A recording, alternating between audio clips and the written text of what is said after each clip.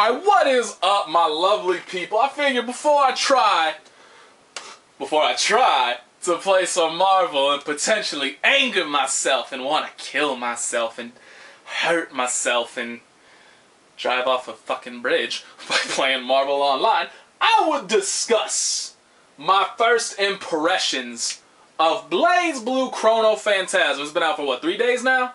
In Japan, in the arcades? And I'm gonna get to that in a moment. But, first, I must begin every BlazBlue video with some Token Tager hate. So, let's get this Token Tager hate out of the way. What the fuck is up with his Atomic Collider now? I mean, like, it starts up the same way, has the same properties and shit. You know, he grabs them, he slams them into the ground, and then it gets weird. I've only seen one match with Tager. I'm kind of trying to stay away uh, from information and stuff, so I'll get into why in a moment after this. But, um, so I don't know if I got this correctly. I may seem kind of ignorant on certain things, uh, and that is because, like I said, I've been trying to kind of avoid stuff, uh, information and all that. I kind of watched a few day one videos, and that was pretty much it. I'm kind of, like I said, I'm trying to avoid it, and I'll explain why in a moment. But it seems like instead of doing what it used to do, where he grabs them, he bounces them, they bounce up to about head height, and then they have a hard knockdown. Now he just grabs them and fucking bounces them into the stratosphere. They pop up a hella high, and it looks silly as fuck. I mean, it, the, the only reaction I had when I first saw that was, what the fuck just happened? So it seems like instead of having that bounce into the hard knockdown, and then you do, you know, an atomic collider to draw them back in if they're magnetized, blah, blah, blah, all that shit. It looks like you have to ha find some kind of follow-up to do during that bounce, because I don't think it causes that hard knockdown anymore. So I'm assuming maybe you could, like, do a, um, uh, like, a jumping chain, maybe, after that into something. I don't know. Anyway, I just wanted to say, that shit looks silly as hell. And I, oh my god, what the fuck? It looks weird and I don't like it. One other thing that I don't like that I'm going to get out of the way first. The sound effects. They're grating. They shouldn't be. They should not, you shouldn't, sound effects should be there, but you should have to pay special attention to truly notice them. But these are just like slapping you in the face louder than everything else and the only thing I could think of when I'm like watching gameplay and hearing those the new sound effects that they're doing for whatever reason was that it's like a low budget martial arts movie where like they're cracking celery for you know like the bone breaking shit. That kind of sound effect. It just it doesn't sound right. It doesn't sound good. I don't like it. So that's my other complaints. So now why I've been avoiding information. See I think Arc System Works does themselves a disservice by releasing their games in the arcade like half a year or more prior to a console release. And the reason why is that there is a substantial amount of hype in fighting games that results from the release of that fighting game and that initial rush to learn, to figure out setups, to figure out combos, figure out new characters, whatever, all that shit. I still remember Ultimate Marvel vs. Capcom 3 when that shit was first coming out. And, you know, some people were managing to get their hands on early copies, whether it was because of, you know, the whole mom and pop store getting them like three days early and selling them, or what, you know, what, however they got it. And being like, yo, we're going to have some prior to release day, and I was on that. Like, I was so hyped to go there, try out Nova, try out Iron Fist, try out Strider, etc., etc., all that stuff. I was thrilled. And that aspect, because of how they handle this, is lost to everybody but the Japanese arcade scene. And because of that, I feel like number one, it gives a lot of people time where initially they were hyped for it, they wanted to play it, and then they just see more and more and more of it, and they're just kind of like, eh. I think I'm going to pass on this game. I'll just keep playing Street Fighter. Or I'll just keep playing Marvel. Or I'll just keep playing Persona. Whatever. It gives them enough time to lose that initial release day hype that otherwise would have sold a copy.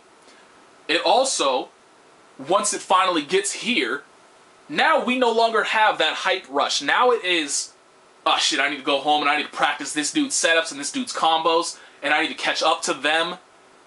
And A, I feel like that's just bad overall because it's not really hype. It's just I, I want to catch up to this person's level. And B, I feel like that kind of kills the imaginative side.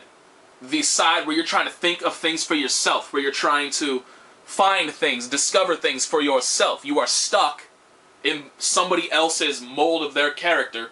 That like, you know, they're whatever, like the highest PSR ranking of X character, and you see them like, oh, they're obviously playing this character correctly. I want to play it like them. And that kind of kills the imaginative side where you try to discover how you play the character, not how they play the character, and you're just trying to copy their shit. I feel like that's a bad thing overall, and I wish they wouldn't do it. because I know, like I said, I'm trying to avoid information for that reason because I know in every single game with Extend, with CS2, I was watching gameplay of all of it, and I was hype as hell when it first came out.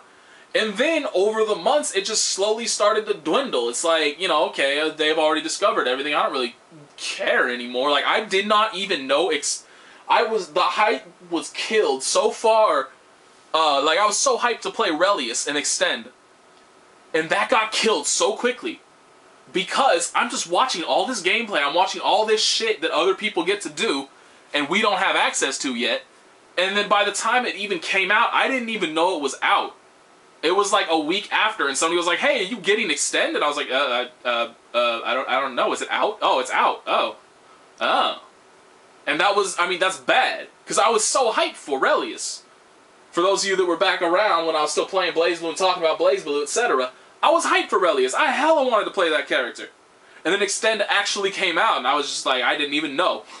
Didn't even register on my radar. So I feel like this whole arcade release, then six months later doing a console release, even if it is slightly updated. Uh, you know, like maybe they do balance tweaks. I hear they they have uh, a couple new characters planned. Like I guess there's a different version of Tsubaki. I'm not positive on that. That's just something I've heard. Um, I mean, even though they have that shit, it's still we've been watching gameplay all this time, and we're that's all we get is access to gameplay and guessing shit. And it's like that's no fun. I want to play the game. I want to be able to play the game and watch it. Like I still watch Marvel streams, I still watch Marvel videos, and I still have access to play it.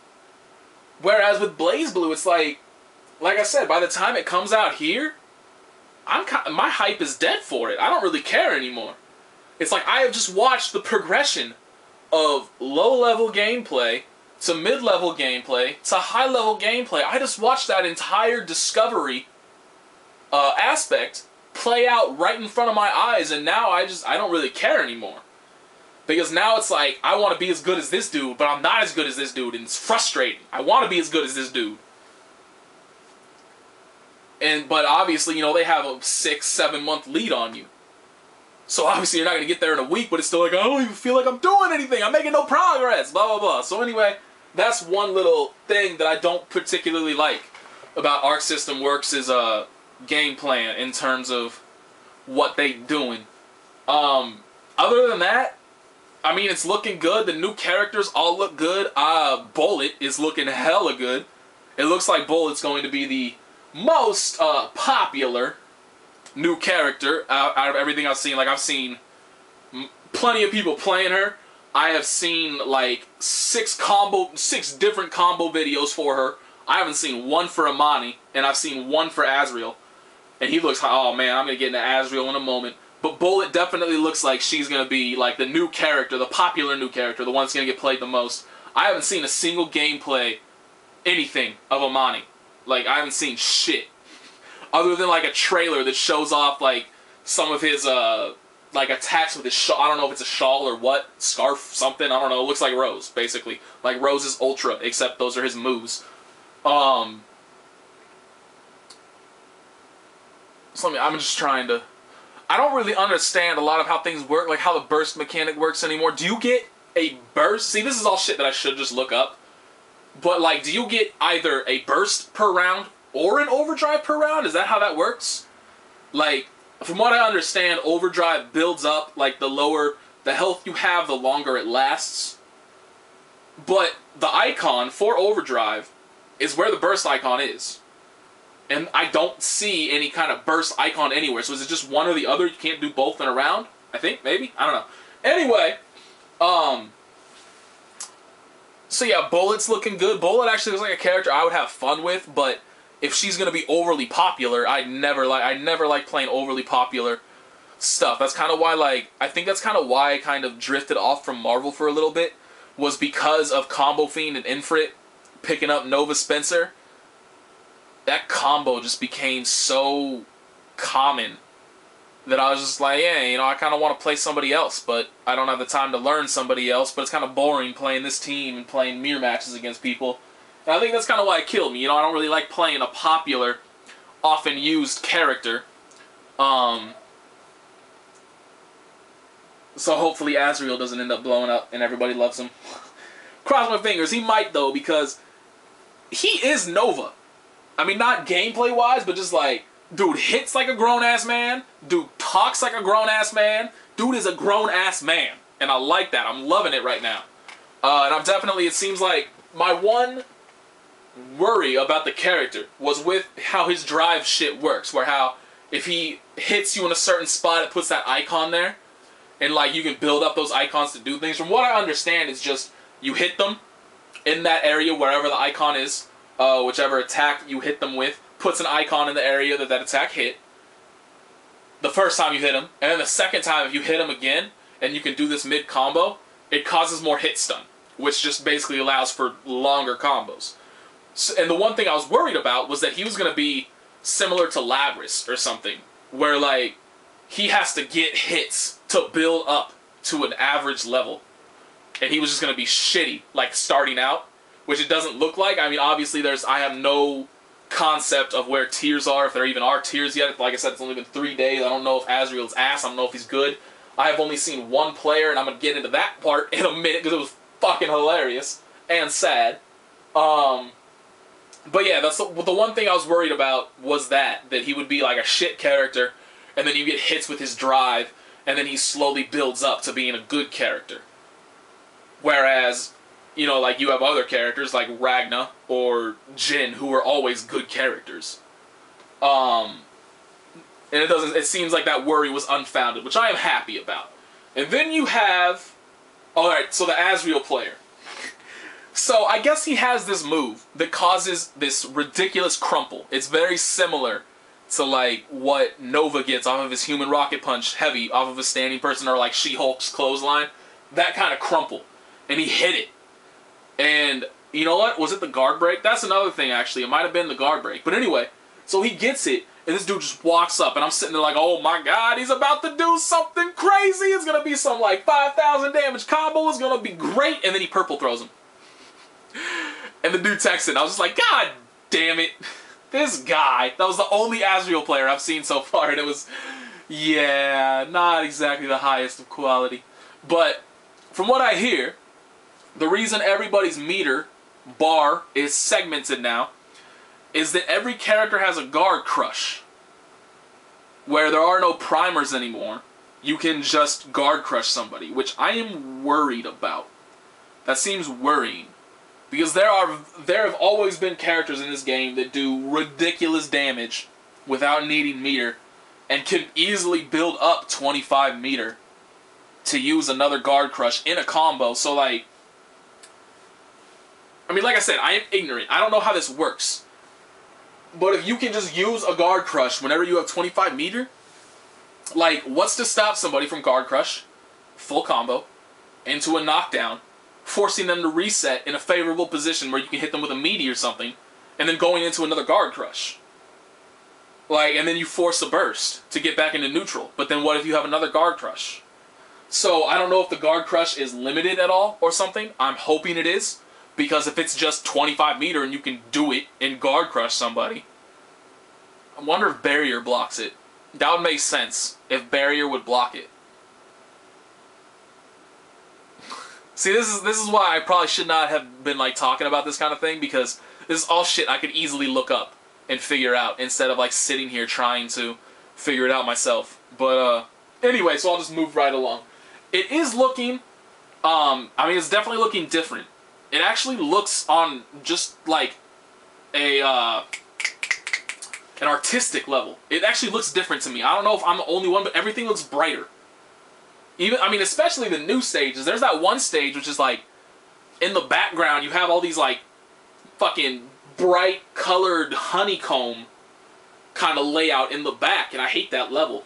I've seen it like twice, and both times I was like, oh my god, that level's terrible. Like it draws attention to itself, which shouldn't happen. Like if you want to create a detailed, good-looking level, cool, but you should have to focus on the level to pay attention to it. You shouldn't. It should not be trying to get your focus and take focus away from the match, which I feel like that stage does.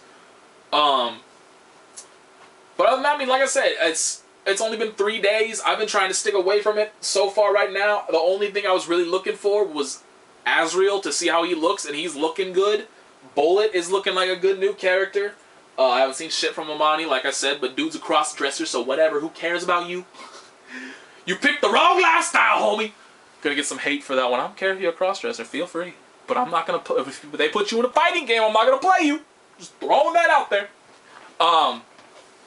But yeah, I mean, it's they've definitely made some big, risky changes to the gameplay that I haven't really made before. Like they've never really made this fundamental, like changing of the game system before. The closest thing, uh, the closest difference, I guess, would be how did bursts work? And see, like, didn't you just you just got one burst around and that was it, right? Whereas you know in like CS, you had two bursts you had one available to you, and then if you lost a round, the second one became available. I think that's how it worked. Anyway, regardless, it's been a while since they have done any kind of big changes like this, and they're risky changes. So I hope they pay off for them. I hope the game ends up being quality. I hope the game ends up being good. The one thing that I mean, I haven't seen it yet. I haven't because there hasn't been any really high level gameplay of it yet.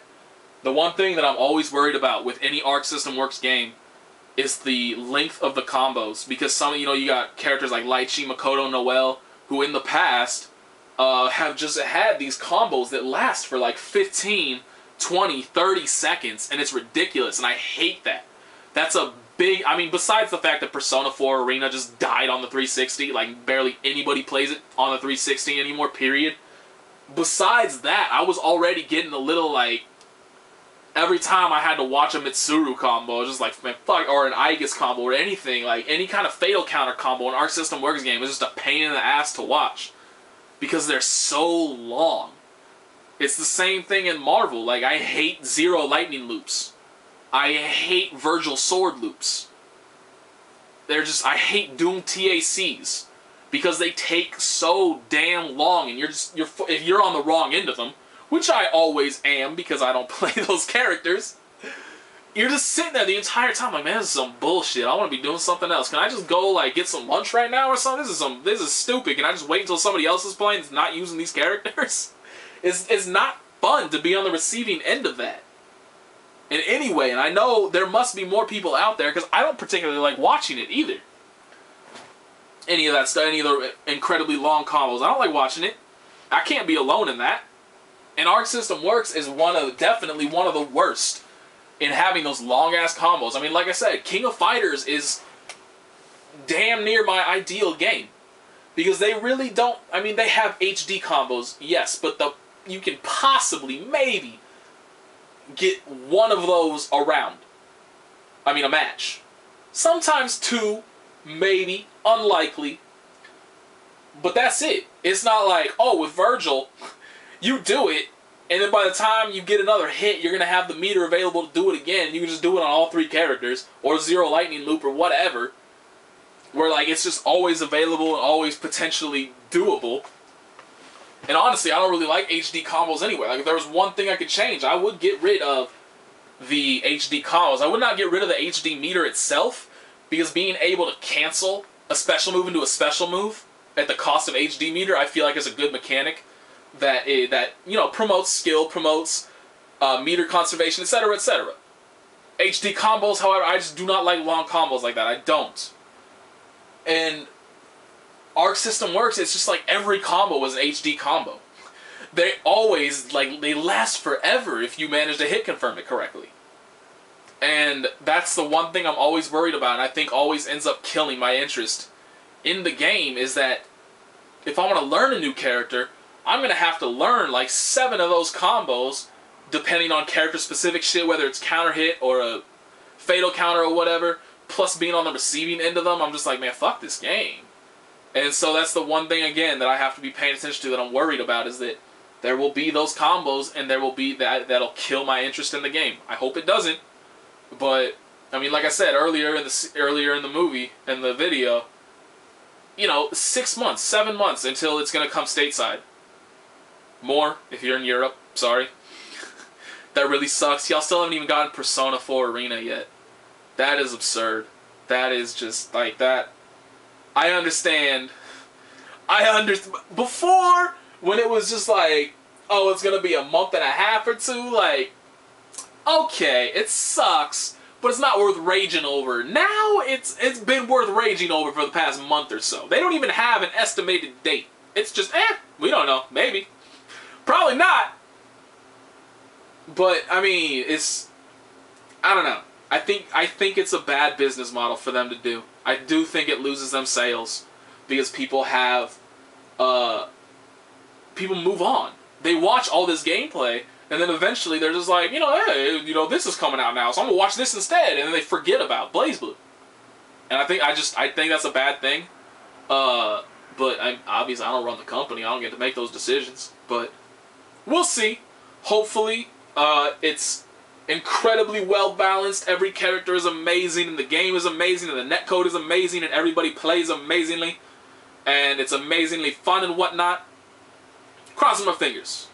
But that was just some kind of, those were just, I guess, my thoughts. Just in case any of you cared. I don't know why you would, but just in case. So that's that. Now I'm trying to play some Marvel. And I'm to try being the operative word. If you don't see a video in the next day and a half or so, you'll know I tried and I failed, as per usual.